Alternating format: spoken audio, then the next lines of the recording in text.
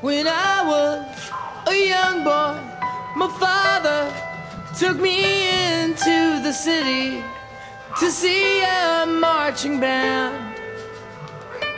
He said, son, when you grow up, would you be the savior of the broken, the beaten, and the damned?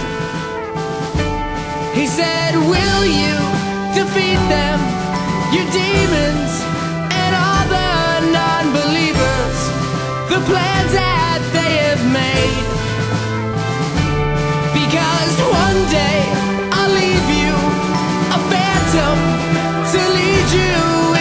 summer to join the black parade.